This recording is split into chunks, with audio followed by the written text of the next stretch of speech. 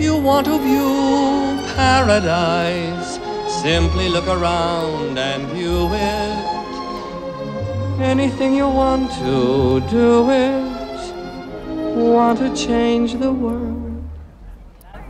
There's nothing to it.